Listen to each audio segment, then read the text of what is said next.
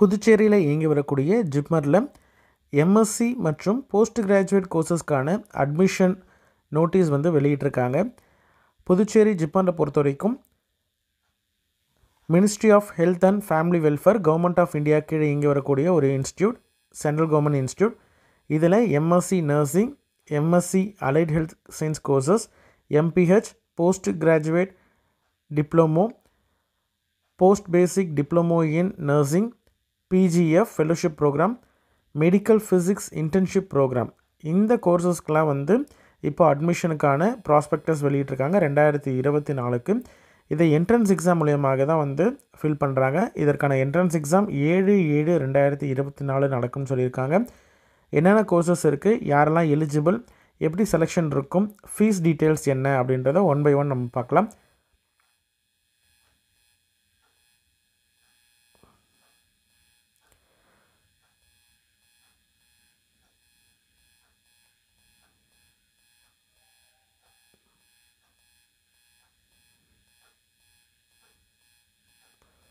இதுதான் வந்து important dates அதாவது ஆன்லைனில் தான் ரெஜிஸ்ட்ரேஷன் பண்ணணும். ரெஜிஸ்ட்ரேஷன் வந்து ஆல்ரெடி ஓப்பனில் இருக்குது ஆன்லைன் ரெஜிஸ்ட்ரேஷன் வந்து க்ளோஸ் ஆகிற டேட் வந்து இருபது ஆறு ரெண்டாயிரத்தி இருபத்தி நான்கு. ஹால் டிக்கெட்டை பொறுத்த வரைக்கும் இருபத்தி ஒன்பதாம் தேதியிலேருந்து ஏழு ஏழு ரெண்டாயிரத்தி இருபத்தி நாலு வரைக்கும் ஓப்பன் பண்ணியிருப்பாங்க. டவுன்லோட் பண்ணிக்கலாம். என்ட்ரன்ஸ் எக்ஸாமோட டேட் வந்து ஏழு ஏழு ரெண்டாயிரத்தி இருபத்தி நான்கு. சண்டே ஒன்பது மணிலேருந்து பத்தரை மணி வரைக்கும் எக்ஸாம் இருக்கும்னு சொல்லியிருக்காங்க. மெரிட் லிஸ்ட்டை பொறுத்த வரைக்கும் இருபத்தி ரெண்டு ஏழு ரெண்டாயிரத்தி இருபத்தி நாலுக்குள்ளே வெளியிடுவாங்க அப்படின்னு சொல்லியிருக்காங்க. இதற்கான கவுன்சிலிங் டேட் அட்மிஷன் டேட்லாம் வந்து பின்னர் அறிவிக்கப்படும். சரிங்களா? ஓகே இதில் என்னென்ன கோர்சஸ் இருக்குது அதில் எவ்வளவு சீட்ஸ் அப்படின்றத பார்க்கலாம். ஃபஸ்ட்டு எம்எஸ்சி கோர்ஸை பொறுத்த வரைக்கும் MSc allied health science courses இதில் வந்து மெடிக்கல் பயோகெமிஸ்ட்ரியில் நான்கு சீட்டு இருக்குது எம்எல்டி மைக்ரோபயாலஜியில் ஐந்து சீட்டு எம்எல்டி பேத்தாலஜியில் ஐந்து சீட்டு மெடிக்கல் ஃபிசியாலஜியில் ஐந்து சீட்டு பயோ ஸ்டாட்டிஸ்டிக்ஸை பொறுத்த வரைக்கும் ரெண்டு சீட்டு நியூரோ டெக்னாலஜியில் ரெண்டு சீட்டு இருக்குது சரிங்களா?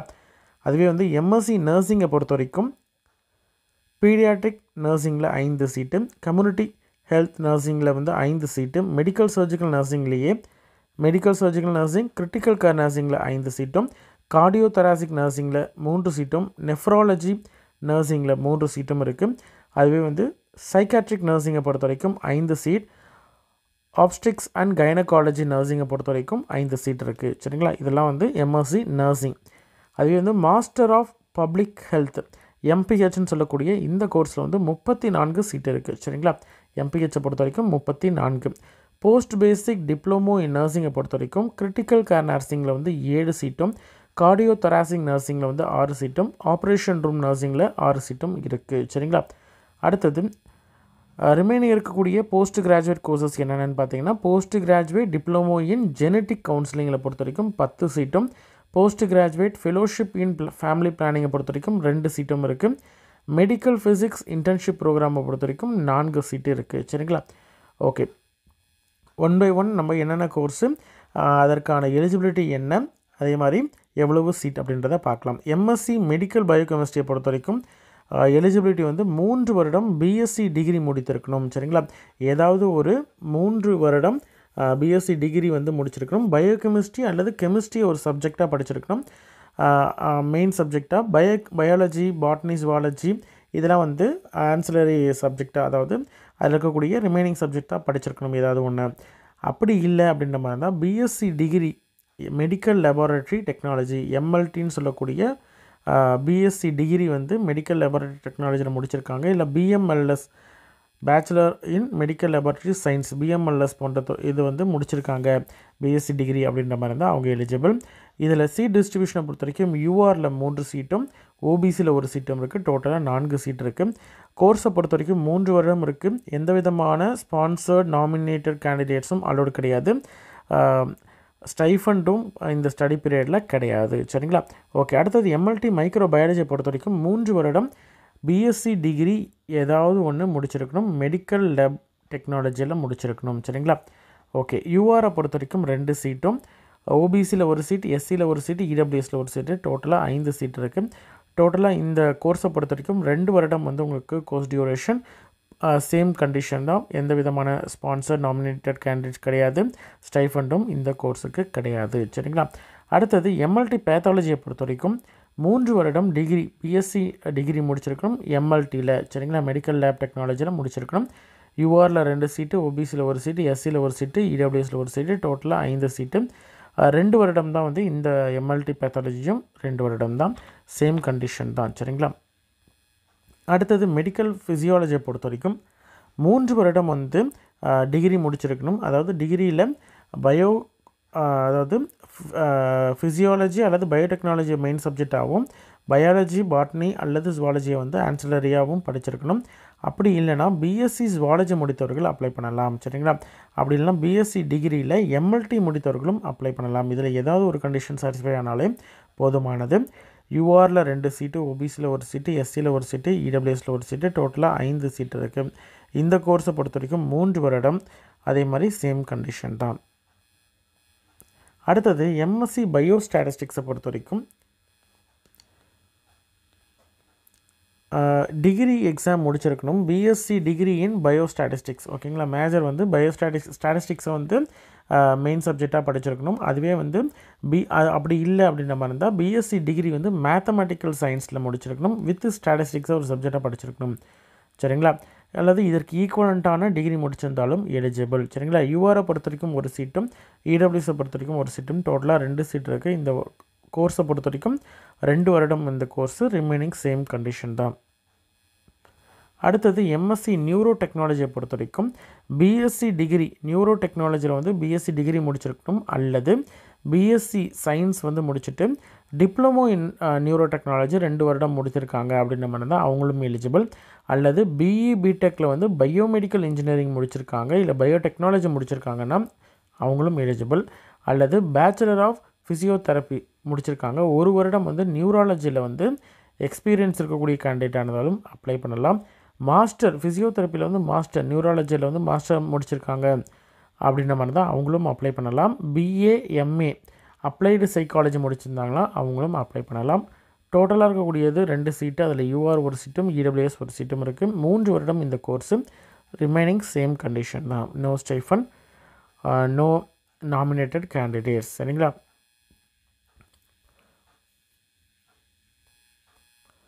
எம்எஸ்சி நர்சிங்கை பொறுத்த வரைக்கும் பிஎஸ்சி நர்சிங் முடிச்சிருக்கணும். சரிங்களா? எம்எஸ்சி நர்சிங்கை பொறுத்த வரைக்கும் மினிமம் குவாலிஃபிகேஷன் பிஎஸ்சி நர்சிங் முடிச்சிருக்கணும். அல்லது ஈக்குவலண்ட்டான டிகிரி வந்து முடிச்சிருந்தாங்கனால அக்செப்டபுள் அதே மாதிரி ஸ்டேட் ரெஜிஸ்ட்ரேஷன் கவுன்சிலில் வந்து நர்சிங் கவுன்சிலில் வந்து கண்டிப்பாக வந்து பதிவு பண்ணியிருக்கணும். சரிங்களா? ஓகே அதே மாதிரி அட்லீஸ்ட் ஒன் இயர் எக்ஸ்பீரியன்ஸாவது தேவை. ஹாஸ்பிட்டல் இல்லை காலேஜ் இல்லைனா வந்து ஸ்கூல் ஆஃப் நர்சிங்கில் என்ன கோர்ஸுக்கு அப்படின்னு பார்த்தீங்கன்னா கம்யூனிட்டி ஹெல்த் ப்ரோக்ராம் வந்து முடித்தவர்களுக்கு வந்து அவங்க பிஎஸ்சி நர்சிங்க்கு அப்புறமேட்டு அதாவது ஸ்டேட் நர்சிங் கவுன்சிலில் பிஎஸ்சி நர்சிங் முடிச்சுட்டு ஸ்டேட் நர்சிங் கவுன்சிலில் அவங்க வந்து ரிஜிஸ்ட்ரேஷன் பண்ணதுக்கு அப்புறமேட்டு கம்யூனிட்டி ஹெல்த் ப்ரோக்ராம் பண்ணியிருக்காங்க அப்படின்ற மாதிரி தான் அவங்களும் எலிஜிபிள் இல்லை வந்து ஒன் இயர் எக்ஸ்பீரியன்ஸ் வந்து ஹாஸ்பிட்டல் காலேஜ் அல்லது நர்சிங் ஸ்கூலில் வந்து எக்ஸ்பீரியன்ஸ் இருந்தால் ஏதாவது ஒரு எக்ஸ்பீரியன்ஸ் இருந்தால் ஓகே தான். சரிங்களா? மினிமம் வந்து ஒன் இயர் வந்து ஒர்க் எக்ஸ்பீரியன்ஸ் இருக்கணும். அப்படி இல்லைன்னா போஸ்ட் பேசிக் பிஎஸ்சி நர்சிங் முடித்திருக்கணும் சரிங்களா? ஆனால் பிஃபோர் முப்பத்தி ஒன்று ஏழு ரெண்டாயிரத்தி இருபத்தி நாலுக்கு முன்னாடி சரிங்களா? ஓகே அதே மாதிரி கேண்டிடேட் வந்து மெடிக்கலி ஃபிட்டாக இருக்கணும் சரிங்களா? எம்எஸ்சி நர்சிங்கை பொறுத்த வரைக்கும் மேல் கேண்டிடேட்ஸ் வந்து அப்ளை பண்ணுறாங்க அப்படின்ற மாதிரி இருந்தால் இந்தியன் நர்சிங் கவுன்சில் ரெக்கமெண்டேஷன் படி மிட்வைஃபரிக்கு பதிலாக வேறு ஏதாவது கோர்ஸ் வந்து படிச்சிருக்கணும் அப்படின்றது சொல்லியிருக்காங்க. இதில் இருக்கக்கூடிய பிரான்ச்சஸில் டூ ஒன் ஃபைவை பொறுத்த வரைக்கும் ஹூஆர் ஸ்டடி மிட்வைஃபரி அவங்க மட்டும்தான் எலிஜிபிள் டூ ஒன் ஃபோரை பொறுத்த வரைக்கும் community health நர்சிங்கும் two one five community health நர்சிங்கும் obstetric and கைனகாலஜிக்கும் கண்டிப்பாக வந்து மிட்வைஃபரி முடித்தவர்கள் மட்டும் தான் அப்ளை பண்ண முடியும். அப்போ இந்த ரெண்டு கோர்ஸை பொறுத்த வரைக்கும் ஃபீமேல் கேண்டிடேட் மட்டும் தான் எலிஜிபிள் சரிங்களா? Post basic BSc nursing PB BS முடிச்சிருக்காங்க. நர்சிங்கில் அப்படின்ற மாதிரி இருந்தால் இக்னோவில் முடிச்சிருக்காங்க அப்படின்ற மாதிரி இருந்தால் அவங்க நாட் எலிஜிபிள் சரிங்களா? எம்எஸ்சி நர்சிங் கோர்ஸுக்கு சீட் டிஸ்ட்ரிபியூஷனை பொறுத்த வரைக்கும் நம்ம முன்னாடியே நம்ம பார்த்ததான் பீடியாட்ரிக் நர்சிங்கில் அஞ்சு கம்யூனிட்டி ஹெல்த் நர்சிங்கில் வந்து அஞ்சு ம மெடிக்கல் சர்ஜிக்கல் நர்சிங்கில் கிரிட்டிக்கல் கேரில் அஞ்சும் கார்டியோ தொராசிக்கில் மூணும் நெஃப்ராலஜி நர்சிங்கில் மூணும் இருக்குது சைக்காட்ரி நர்சிங்கை பொறுத்த வரைக்கும் அஞ்சு ஓஜியை பொறுத்த வரைக்கும் ஐந்து. டோட்டலாக முப்பத்தி ஒரு சீட்டு அதில் ஒரு சீட்டு வந்து பிடபிள்யூடி கேண்டிடேட்டுக்கு ரிசர்வ்டு சரிங்களா? டோட்டலாக வந்து ரெண்டு வருடம் வந்து course duration sponsor candidate not allowed nominated candidate not allowed stipend எதுவும் கிடையாது சரிங்களா? எம்பிஹெச்சை பொறுத்த வரைக்கும் எம்பிஹெச்சில் வந்து டோட்டலாக வந்து முப்பத்தி நான்கு சீட் இருக்குது இந்த சீட்டில் யாரெல்லாம் எலிஜிபிள்னு பார்த்தீங்கன்னா எம்பிபிஎஸ் முடித்திருக்கிறவங்க அப்ளை பண்ணலாம். அல்லது பிடிஎஸ் டென்டலில் பிடிஎஸ் முடிச்சிருக்காங்க அப்படின்ற மாதிரி தான் அவங்க அப்ளை பண்ணலாம். பிஇ முடிச்சிருக்காங்க அப்படின்ற மாதிரி தான் அப்ளை பண்ணலாம். பிடெக் முடிச்சிருக்காங்க அப்படின்ற மாதிரி தான் எனி பிரான்ச்சு எந்த பிரான்ச்சாக இருந்தாலும் சரி பிஇ பிடெக் முடிச்சிருந்தாங்கன்னா அவங்கெல்லாம் எலிஜிபிள் பிஇ அல்லது பிடெக் அது மாதிரி பிஎஸ்சி நர்சிங் முடிச்சிருந்தாலும் அவங்களும் eligible B veterinary science bachelor in veterinary science முடிச்சிருக்காங்க அப்படின்ற மாதிரி தான் அவங்களும் எலிஜிபிள் ஆயுஷ் முடிச்சிருக்காங்க. ஆயுஷ் அக் அக்குபஞ்சர் யுனானி ஆயுர்வே சாரி ஆயுர்வேதா யுனானி இந்த மாதிரி கோர்சஸில் ஆயுஷில் முடிச்சிருக்காங்க. ஹோமியோபதி இதிலெல்லாம் முடிச்சிருக்காங்க. சித்தால அப்படின்ற மாதிரி இருந்தால் அவங்களும் எலிஜிபிள் அலைடு ஹெல்த் இல்லைனா சோஷியல் சயின்ஸ் முடிச்சிருக்காங்க அப்படின்ற மாதிரி இருந்தால் அவங்களும் எலிஜிபிள் அதே மாதிரி ஃபஸ்ட் அட்டம்ப்டில் கண்டிப்பாக பாஸ் பண்ணியிருக்கணும் எல்லா செமஸ்டரையும் எல்லா இயரையும் ஃபஸ்ட் அட்டம்ப்ட்லேயே பாஸ் பண்ணியிருக்கணும் எந்த விதமான அரியரும் வச்சிடக்கூடாது. அட்லீஸ்ட் ஃபிஃப்டி பர்சன்டேஜாவது மார்க் எடுத்துருக்கணும். சரிங்களா? ரெண்டு வருடம் வந்து எக்ஸ்பீரியன்ஸ் பப்ளிக் ஹெல்த் நம் இதில் வந்து two years of two years of complete work experience in public health system is வந்து டிசைரபிள் அப்படின்னு சொல்லியிருக்காங்க.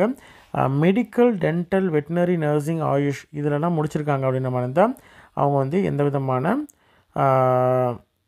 சாரி அவங்க வந்து கண்டிப்பாக வந்து ரிஜிஸ்ட்ரேஷன் பண்ணியிருக்கணும். ஸ்டேட் ரெஜிஸ்ட்ரேஷன் கவுன்சிலில் ரெஜிஸ்ட்ரேஷன் பண்ணியிருக்கணும் medical dental veterinary nursing AYUSH graduates remaining இருக்கக்கூடிய கேண்டிடேட்க்கு எந்த விதமான ரெஜிஸ்ட்ரேஷனும் தேவையில்லை. சரிங்களா?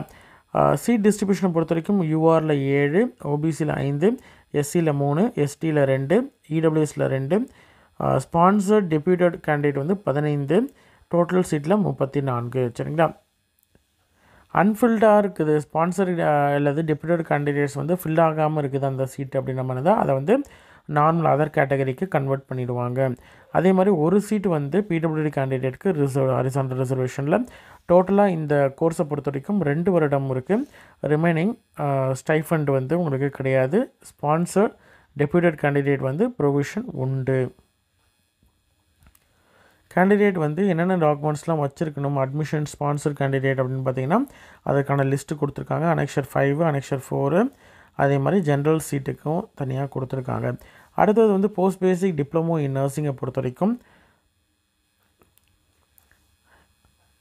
ரெஜிஸ்டர்டு நர்ஸாக அதாவது ஆர்என்ஆர்எம் நம்பர் வந்து வச்சுருக்கணும். ஈக்குவலண்ட்டில் ஈக்குவலண்ட்டான இது வந்து வச்சுருக்கணும். டிப்ளமோ இன் ஜென்ரல் நர்சிங் அல்லது அண்ட் மிட்வைஃபரி முடிச்சிருக்காங்க. ஒன் இயர் எக்ஸ்பீரியன்ஸ் இருக்குது ஸ்டாஃப் நர்ஸாக இல்லது பிஎஸ்சி முடிச்சிருந்தாங்கன்னா அவங்க எலிஜிபிள் அல்லது பிஎஸ்சி நர்சிங் முடிச்சிருக்காங்கன்னா அவங்க எலிஜிபிள் பிஎஸ்சி நர்சிங் முடிச்சிருந்தா எந்த விதமான எக்ஸ்பீரியன்ஸும் தேவையில்லை. அது வந்து diploma in general nursing and midwifery முடிச்சிருக்காங்க அப்படின்ற மாதிரி இருந்தால் அவங்களுக்கு ஒன் இயர் எக்ஸ்பீரியன்ஸ் தேவை ஸ்டாஃப் நர்ஸாக ஓகேங்களா அதே மாதிரி ஸ்டேட் நர்சிங் கவுன்சிலில் பதிவு பண்ணியிருக்கணும். அப்பர் ஏஜ் லிமிட்டை பொறுத்த வரைக்கும் நாற்பது வயது வரைக்கும் இருக்கக்கூடிய கேண்டிடேட் அப்ளை பண்ணலாம். ஆன்லைனில் தான் அப்ளை பண்ண முடியும். அதே மாதிரி ஏஜ் ரிலாக்ஸேஷனும் ஆஸ் பர் கவர்மெண்ட் ரூல்ஸ் படி உண்டு. கிரிட்டிக்கல் கேர் நர்சிங்கில் ஏழு சீட்டும் கார்டியோ தொராசிக்கில் ஆறு சீட்டும் ஆப்ரேஷன் ரூம் நர்சிங்கில் ஆறு சீட்டும் டோட்டலாக பத்தொம்பது சீட்டும் இருக்குது அதில் ஒரு சீட்டு வந்து பிடபிள்யூடி கேண்டிடேட்டுக்கு ரிசர்வ்டு சரிங்களா? அதே மாதிரி இதில் ஒரு சீட்டு வந்து டோட்டலாக ஒவ்வொரு ஸ்ட்ரீம்லேயும் ஒரு ஒரு சீட்டு வந்து காலேஜ் ஆஃப் நர்சிங் ஜிப்மர்லேயே படித்த கேண்டிடேட்ஸுக்கு ரிசர்வ்டு அப்படின்னு சொல்கிறாங்க சரிங்களா? ஒரு ஒரு சீட்டு வந்து அப்போது ரிசர்வ்டு அது மட்டும் இல்லாமல் ஒரு சீட்டு வந்து பிடபிள்யூடி கேண்டிடேட்டுக்கும் ரிசர்வ்டு டோட்டலாக ஒரு வருடம் வந்து இந்த கோர்ஸ் இருக்குது. மேக்ஸிமம் பீரியட் வந்து ரெண்டு வருடத்துக்குள்ளேயே கோர்ஸை முடிக்கணும். சரிங்களா? ஒரு வருடம் தான் கோர்ஸு நீங்கள் வந்து ஒரு வருடத்தில் முடிக்க முடியாத கேண்டிடேட்ஸு ரெண்டு வருடத்துக்குள்ளே கண்டிப்பாக முடிச்சாகணும். ஸ்பான்சர் கேண்டிடேட் நாமினேட்டட் கேண்டிடேட்லாம் அலோடு கிடையாது. அந்த மாதிரியான ப்ரொவிஷன் கிடையாது. போஸ்ட் பேசிக் பிஎஸ்சி நர்சிங் முடிச்சிருக்காங்க அப்படின்ற மாதிரி இருந்தால் அவங்களும் எலிஜிபிள் அதற்கான அலாட்மெண்ட் ரோஸ்டர் பாயிண்ட்டும் வந்து அனெக்ஷரில் கொடுத்துருக்காங்க. அதே மாதிரி மாதம் மாதம் பத்தாயிரம் ரூபாய்க்கான ஸ்டைஃபண்டும் உண்டு. ஸ்டடி பீரியட் ஃபுல்லத்துக்கும் பத்தாயிரம் ரூபாய் வந்து மந்த்லி மந்த்லி ஸ்டைஃபண்ட் உண்டு. டோட்டலாக முப்பது நாள் வந்து லீவ் எடுத்துக்கலாம் அட்ஜஸ்ட்மெண்ட்டு சரிங்களா? ஒரு வருஷத்துக்கு.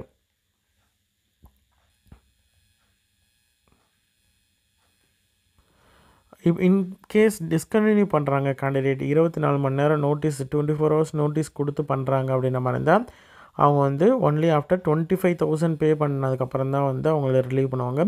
ஒன் மந்த்து ஸ்டைஃபண்டும் வந்து அதாவது டென் தௌசண்டும் வந்து பே பண்ணுற மாதிரி இருக்கும். சரிங்களா? அடுத்தது post post graduate diploma fellowship PGD இல்லைனா பிஜிஎஃப் கோர்சஸை பொறுத்த வரைக்கும் பிஜிடி அன்ரிசர்வ்டில் வந்து ஆறு சீட்டும் ஓபிசியில் ரெண்டு எஸ்சியில் ஒன்று எஸ்டியில் ஒன்று மொத்தமாக பத்து சீட்டு. இதுக்கு எலிஜிபிலிட்டி பார்த்திங்கன்னா எம்பிபிஎஸ் அல்லது BDS BSc nursing MSc MPhil இந்த மாதிரியான கோர்சஸில் ஏதாவது ஒன்று முடிச்சிருக்காங்க அப்படின்ற மாதிரி தான் அவங்க அப்ளை பண்ணலாம். சரிங்களா? டோட்டலாக இந்த கோர்ஸை பொறுத்த வரைக்கும் ஒரு வருடம். ஸ்டைஃபன் கிடையாது ஸ்பான்சர் கேண்டிடேட்டும் நாட் அலோடு. அடுத்தது post graduate fellowship in family பிளானிங்கை பொறுத்த வரைக்கும் எம்பிபிஎஸ் முடித்தவர்கள் மட்டும்தான் அப்ளை பண்ண முடியும். டோட்டலாக ரெண்டு சீட்டு ரெண்டு சீட்டுமே அன்ரிசர்வ்டு சரிங்களா? ஒரு வருடம் வந்து இந்த கோர்ஸுக்கான டியூரேஷன் அதே மாதிரி sponsor candidate nominate candidate allowed கிடையாது. இந்த கோர்ஸ் படிக்கக்கூடிய கேண்டிடேட்ஸ்க்குள்ள ஸ்டைஃபண்ட் வந்து பர் மந்த் வந்து இருபத்தி ஐயாயிரம் ரூபாய் வந்து ஸ்டைஃபண்ட் உண்டு. ஒரு வருடத்துக்கு வந்து இந்த ஸ்டைஃபண்ட் உண்டுன்னு சொல்லியிருக்காங்க சரிங்களா? அடுத்தது medical physics intern internship programme பொறுத்த வரைக்கும் போஸ்ட் கிராஜுவேட் டிகிரி ஃபிசிக்ஸில் போஸ்ட் கிராஜுவேட் டிகிரி முடித்திருக்கவங்க. அதே மாதிரி post MSc diploma in radiological அல்லது மெடிக்கல் ஃபிசிக்ஸ் முடித்தவர்கள் அப்ளை பண்ணலாம். சரிங்களா? அப்படி இல்லைனா பேசிக் டிகிரி வந்து சயின்ஸில் முடிச்சிருக்கணும். ஃபிசிக்ஸை ஒரு மெயின் சப்ஜெக்டாக படிச்சிருக்கணும். Post graduate degree in radiological medical ஃபிசிக்ஸில் வந்து அல்லது ரெகனைஸ்டு யூனிவர்சிட்டியில் uh, படிச்சிருக்கணும் அப்படின்னு சொல்லியிருக்காங்க. டோட்டலாக நாலு சீட்டில் யூஆர் மூணு சீட்டு ஓபிசி ஒரு சீட்டு. கோர்ஸ் டியூரேஷன் பொறுத்த வரைக்கும் ஒரு வருடம். ஸ்டைஃபண்ட் வந்து பத்தாயிரரூபாய் வந்து உங்களுக்கு மந்த்லி மந்த்லி ஸ்டைஃபண்ட் வந்து முப்பது நாள் வரைக்கும் நீங்கள் வந்து லீவு எடுத்துக்கலாம். சரிங்களா?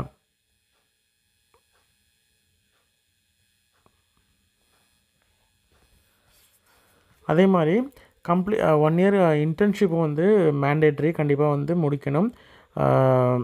ஒன் இயர் முடித்தா மட்டும்தான். அதே மாதிரி ஒன் இயர்க்கு வரைக்கும் தான் உங்களுக்கு வந்து ஸ்டைஃபன் உண்டு. ஒன் இயர்க்கு அப்புறமேட்டு நீங்கள் இன்டர்ன்ஷிப்பும் எக்ஸ்டெண்ட் பண்ணி பண்ணுற மாதிரி இருந்தாலும் அதுக்கு ஸ்டைஃபன் கிடையாது. டிஸ்கன்யூஷன் பொறுத்த வரைக்கும் twenty four thousand twenty four ஹவர்ஸ்க்குள்ளே நீங்கள் வந்து இது பண்ணுற மாதிரி இருந்தால் டுவெண்ட்டி ஃபைவ் தௌசண்ட் பே பண்ணுற மாதிரி இருக்கும். அதே மாதிரி ஒன் மந்த்து ஸ்டைஃபன் பத்தாயிரம் ரூபாயும் பே பண்ணுற மாதிரி இருக்கும். சரிங்களா? என்னென்ன சர்டிஃபிகேட்லாம் நீங்கள் கவுன்சிலிங் டைமில் ஒரிஜினல் சர்டிஃபிகேட்லாம் எடுத்துகிட்டு வரணும் அப்படின்னு பார்த்தீங்கன்னா டேட் ஆஃப் பர்த்துக்கு ப்ரூஃப் வந்து டென்த்து மார்க் ஷீட் அல்லது பர்த் சர்டிஃபிகேட் வச்சுருக்கலாம். Mark sheet statement statement of marks semester வைஸும் இருக்கணும் இயர் வைஸ் இருந்ததுன்னா year wise diploma degree certificate provisional இருக்குன்னா ப்ரொவிஷனல் இல்லை பாஸ் சர்டிஃபிகேட் இருந்தால் ஓகே தான் அட்டம் சர்டிஃபிகேட் எம்பிஹெச் படிக்கக்கூடிய க படிக்கணும்னு ஆசைப்படக்கூடிய கேண்டிடேட் படிக்கிறதுக்கு அப்ளை பண்ணுறக்கூடிய கேண்டிடேட் வந்து எம் அட்டம் சர்டிஃபிகேட் கண்டிப்பாக வச்சுக்கணும் அதே மாதிரி ஸ்பான்சர்ஷிப் சர்டிஃபிகேட் வந்து ஸ்பான்சர் கேண்டிடேட் வச்சுருக்கணும். சரிங்களா? எக்ஸ்பீரியன்ஸ் சர்டிஃபிகேட் தேவைப்படுற இடத்துல வைக்கலாம். கம்யூனிட்டி சர்டிஃபிகேட் வந்து நீங்கள் வந்து என்க்ளோஸ் பண்ணணும். சரிங்களா? அதே மாதிரி எக்கனாமிக்கலி இடபிள்யூஎஸ் சர்டிஃபிகேட்டும் கண்டிப்பாக நீங்கள் வந்து வச்சுருக்கணும். அது இதில் இந்த சர்டிஃபிகேட்லாம் ரெடியாக வச்சுருந்தீங்கன்னா நீங்கள் அப்ளை பண்ணலாம். அதே மாதிரி ஒரிஜினல் சர்டிஃபிகேட் சர்டிஃபிகேட் வெரிஃபிகேஷன் அப்போ தேவை. பிடபிள்யூடி கேண்டிடேட்டும் பிடபிள்யூடிக்கான சர்டிஃபிகேட் வச்சுருக்கணும்.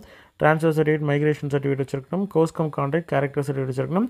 டொமிசில் நேட்டிவிட்டி ரெசிடென்ட் சர்டிஃபிகேட் இருக்கணும். கோவிட் நைன்டீன் வேக்சின் சர்டிஃபிகேட் இருக்கணும் அப்படின்னு சொல்லியிருக்காங்க. இதில் ஒவ்வொரு கேட்டகரிஸும் என்னென்னு கொடுத்துருக்காங்க. அன்ரிசர்வ் பொறுத்த வரைக்கும் இந்தியன் நேஷனல் எல்லாருமே வந்து அன்ரிசர்வ் கேண்டிடேட்டாக கன்சிடர் பண்ணுவாங்க. ஓபிசியை பொறுத்த வரைக்கும் ஓபிசி நான் கிரிமிலேர் ஏன்னா சென்ட்ரல் கவர்மெண்ட் இன்ஸ்டியூட் அப்படின்றதுனாலையும் இதில் வந்து ஓபிசி நான் கிரி என் என்சிஎல்னு சொல்லக்கூடிய நான் கிரிமிலேயர் சர்டிஃபிகேட் தான் வந்து வேலிட் அதுவுமே வந்து ஆன் ஆர் ஆஃப்டர் முப்பத்தி ஒன்று ஜூலை ரெண்டாயிரத்தி இருபத்தி மூணுக்கு அப்புறம் வாங்கின சர்டிஃபிகேட் மட்டும் தான் வேலிட் எஸ்சிஎஸ்டி கேண்டிடேட்டை பொறுத்த வரைக்கும் ஃபார்மெட் வந்து அனெக்ஷர் டூவில் கொடுத்துருக்காங்க.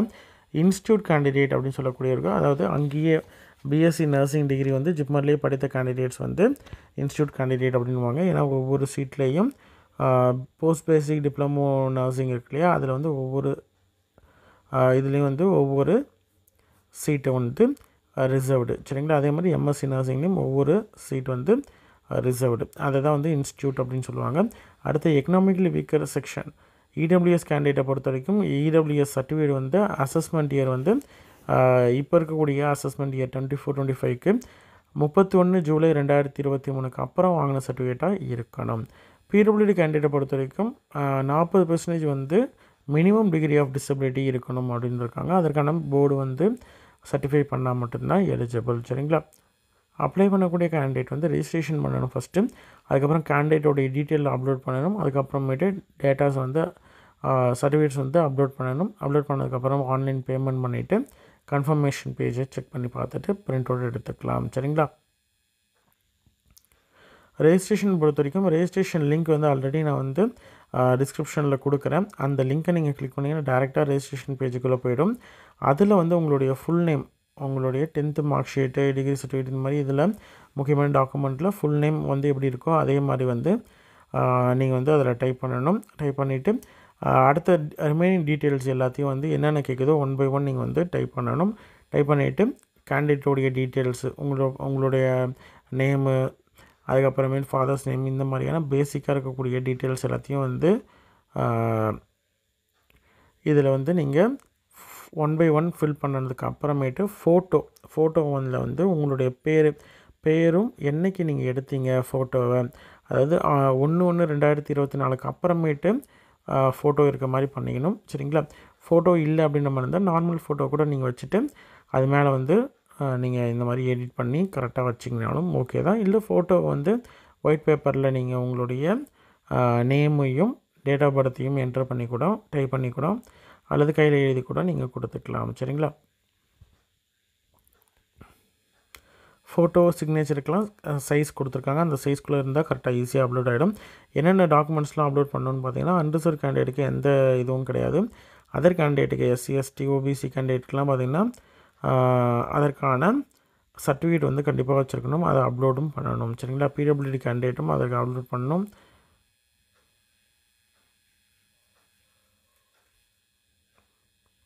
இடபிள்யூஎஸ் பிடபிள்யூடி கேஸ்ட் சர்டிஃபிகேட் எல்லாத்தையும் அப்லோட் பண்ணணும். சரிங்களா? அடுத்தது ஆன்லைன் பேமெண்ட்டை பொறுத்த வரைக்கும் ஜென்ரல் யூஆர் இடபிள்யூஎஸை பொறுத்த வரைக்கும் ஆயிரத்தி ஐநூறுரூவா பே பண்ணுற மாதிரி இருக்கும். ஓபிசியை பொறுத்த வரைக்கும் ஆயிரத்தி ஐநூறுரூவா ப்ளஸ் ட்ரான்சாக்ஷன் எஸ்சிஎஸ்டி கேண்டிடேட்டுக்கு ஆயிரத்தி இரநூறுபா ப்ளஸ் ட்ரான்சாக்ஷன் பீரபிலிட்டி கேண்டிடேட்டுக்கு எந்த விதமான ஃபீஸும் கிடையாது. சரிங்களா? கன்ஃபர்மேஷன் பேஜை பொறுத்த வரைக்கும் ஒன்ஸ் நீங்கள் டீட்டெயில்ஸ் எல்லாம் கரெக்டாக கொடுத்து இது பண்ணிட்டீங்க அப்படின்னு நம்ம இருந்தால் அதுக்கப்புறம் கரெக்ஷன் பண்ண முடியாது. அதனால் கரெக்டாக ஒன்றுக்கு ரெண்டு தடவை பார்த்துக்கணும். சரிங்களா? இருக்கக்கூடிய ஒன்பது சிட்டியில் மினிமம் வந்து மூணு சிட்டியாவது ஆப்ஷன் கொடுக்கணும். அந்த மூணு சிட்டியில் ஃபஸ்ட்டு கம் ஃபஸ்ட்டு சர்வ் அப்படின்ற ஆர்டரில் வந்து யார் ஃபஸ்ட்டு அப்ளை பண்ணுறாங்களோ அவங்களுக்கு ஃபில் ஆகும். இன்கேஸ் வந்து நீங்கள் அப்ளை பண்ணும்போது ஃபஸ்ட்டு சிட்டி இல்லை அப்படின்ற மாதிரி இருந்தால் செகண்ட் சிட்டி வந்து அடுத்தது ஃபில் பண்ணிட்டே வருவாங்க. அந்த மாதிரி ஆர்டரில் தான் வந்து ஃபில் பண்ணிவிட்டு உங்களுக்கு வந்து எக்ஸாம் சென்டர் வந்து அலாட் பண்ணுவாங்க. சரிங்களா? அதே மாதிரி ஒன்ஸ் அலாட் பண்ணிட்டாங்க அப்படின்ற மாதிரி தான் அதை வந்து சேஞ்ச் பண்ண முடியாது. அதனால் ப்ராப்பராக கேர்ஃபுல்லாக கொடுக்கணும் அப்படின்றதையும் கொடுத்துருக்காங்க. சரிங்களா?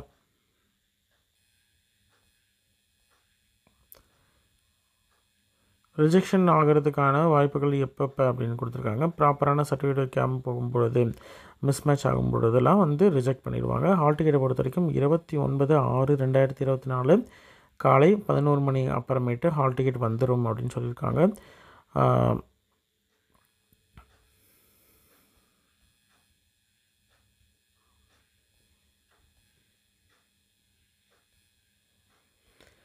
என்ட்ரன்ஸ் எக்ஸாமை பொறுத்த வரைக்கும் என்னென்ன சப்ஜெக்ட்லாம் கேட்பாங்க என்னென்ன கோர்சஸுக்கு என்னென்ன சப்ஜெக்ட்லாம் கேட்பாங்க அப்படின்றது வந்து டீட்டெயிலாக வந்து இதில் கொடுத்துருக்காங்க.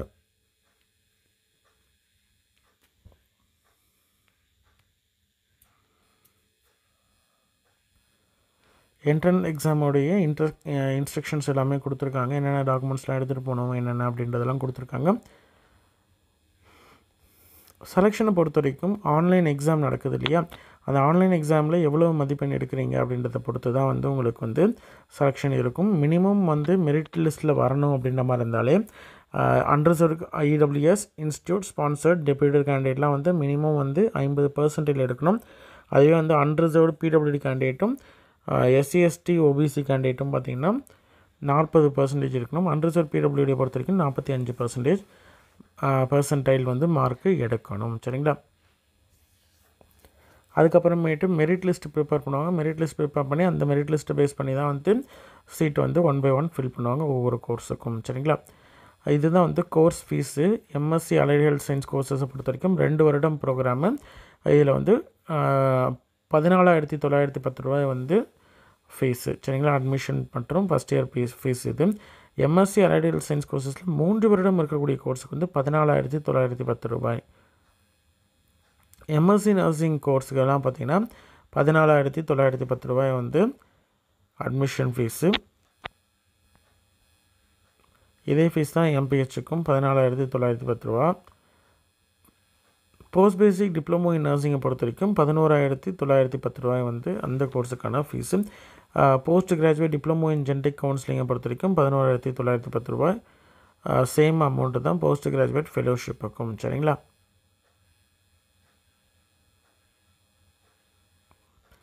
மெடிக்கல் ஃபிசிக்ஸ் இன்டர்ன்ஷிப் ப்ரோக்ராம் பொறுத்த வரைக்கும் ஒரு வருடம் அட்மிஷன் ஃபீஸ் வந்து ஒன் டைம் மூணாயிரம் ரூபாய் ஐடி கார்டு வந்து நூற்றி ஐம்பது ரூபா டோட்டலாக மூவாயிரத்தி நூற்றி ஐம்பது ரூபா வந்து பே பண்ணுற மாதிரி இருக்கும். ஹாஸ்டல் அக்காமடேஷனை பொறுத்த வரைக்கும் செப்பரேட் ஹாஸ்டல்ஸ் இருக்குது பாய்ஸ் அண்ட் கேர்ள்ஸுக்கு அதே மாதிரி நான் புதுச்சேரி கேண்டிடேட்ஸ்க்கு மட்டும்தான் வந்து ஹாஸ்டல் அலாட்மெண்ட் வந்து கொடுப்பாங்க. இதுவுமே வந்து ஃபஸ்ட்டு கம் ஃபஸ்ட்டு சர்வ் பேசிஸில் கொடுப்பாங்க அப்படின்றத கொடுத்துருக்காங்க. ஹாஸ்டல் சார்ஜஸ்லாம் வந்து அனெக்ஷர் டெனில் வந்து கொடுத்துருக்காங்க. கம்ப்யூட்டர் பேஸ்டு டெஸ்ட்டை பொறுத்த வரைக்கும் ஒன்றரை மணி நேரத்துக்கு எக்ஸாம் நடக்கும். ஏழு ஜூலை ரெண்டாயிரத்தி இருபத்தி நாலு சிங்கிள் ஷிஃப்ட்டில் ஒன்பது மணிலேருந்து பத்தரை மணி வரைக்கும் எக்ஸாம் இருக்கும் எக்ஸாம் சென்டர்ஸ் வந்து ஆல் ஓவர் இந்தியா ஒன்பது சிட்டிஸ் இருக்குது அதில் எது வேணால் போடுவாங்க. எக்ஸாம் பொறுத்த வரைக்கும் இங்கிலீஷில் இருக்கும். அப்ஜெக்டிவ் டைப் தான். நூறு கொஷின்ஸ் இருக்கும். மல்டிபிள் சாய்ஸ் கொஷின்ஸு ஆன்லைனில் தான் எக்ஸாம் உங்களுக்கு வந்து நடக்கும். இதில் வந்து அனெக்ஷர்ஸ் எல்லாமே கொடுத்துருக்காங்க. OBC certificate SC ST caste certificate அதே மாதிரி இடபிள்யூஎஸ் கேண்டிடேட்கான income and assess certificate employer certificate இது வந்து சர்வீஸ் சர்டிஃபிகேட்டு அது மாதிரி ஸ்பான்சர்ஷிப்புக்கான சர்டிஃபிகேட்டு ஃபார்மேட்டு இதான் வந்து எம்எஸ்சி நர்சிங்குடைய ரோஸ்டர் பாயிண்ட் இந்த ஆர்டரில் தான் வந்து மெரிட் லிஸ்ட்டு எடுத்துக்கிட்டு ஃபில் பண்ணுவாங்க அப்படின்றது கொடுத்துருக்காங்க. முப்பத்தி ஒரு சீட்டில் ஒரு சீட்டு பிடபிள்யூடி கேண்டிடேட்டுக்கு அது வந்து போஸ்ட் பேசிக் டிப்ளமோ இன் நர்சிங்கை பொறுத்த வரைக்கும்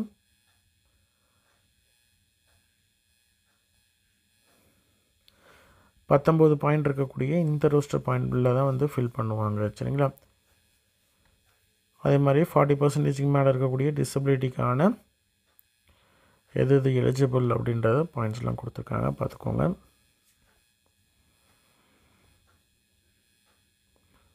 ஆன்லைன் அப்ளிகேஷன் யூசர் இன்டர்ஃபேஸ் வந்து கொடுத்துருக்காங்க.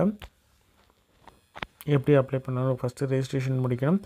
அதுக்கப்புறம் யூசர் ஐடி பாஸ்வேர்டு இருக்கும். அந்த லிங்க்கை யூஸ் பண்ணி நீங்கள் திரும்பியும் வந்து அப்ளை பண்ணும்பொழுது அதில் உங்களோட லாகின் ஐடி வந்து இமெயிலில் வந்திருக்கும். அந்த லாகின் ஐடியும் அல்லது யூசர் ஐடி பாஸ்வேர்டு கொடுத்துட்டு நீங்கள் லாகின் பண்ணிவிட்டு எடிட் கொடுத்து அப்ளை பண்ண மாதிரி இருக்கும். ஃபோட்டோ சிக்னேச்சர் அதுக்கப்புறம் உங்களுடைய டீட்டெயில் எல்லாத்தையும் ஃபில் பண்ணதுக்கப்புறம் கம்யூனிட்டி சர்டிஃபிகேட் வந்து அப்லோட் பண்ணணும் தே இருக்கும் பட்சத்தில் பிடபிள்யூடி கேண்டிடேட் வந்து அதற்கான பிடபிள்யூடி சர்டிஃபிகேட் வந்து வச்சுருக்கணும்.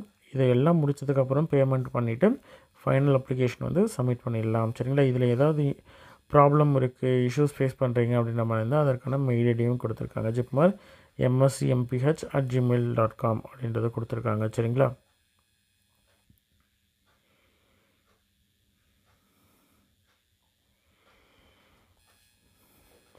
ஹாஸ்டல் சார்ஜஸை பொறுத்த வரைக்கும் டோட்டலாக வந்து இருபதாயிரம் ரூபாய் வந்து பே பண்ணுற மாதிரி இருக்கும்.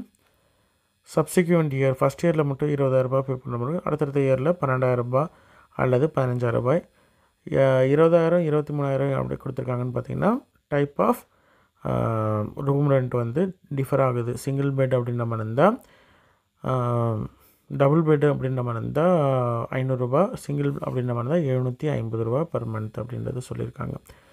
சரிங்களா? இன்ட்ரெஸ்டட் கேண்டிடேட் எம்எஸ்சி பண்ணணும் இல்லை போஸ்ட் கிராஜுவேட் டிப்ளமோ பண்ணணும் அப்படின்னு இருக்காங்க அப்படின்ற மாதிரி இருந்தால் அவங்களுக்கு இந்த வீடியோவை ஷேர் பண்ணுங்கள் கண்டிப்பாக யூஸ்ஃபுல்லாக இருக்கும். சரிங்களா? நன்றி.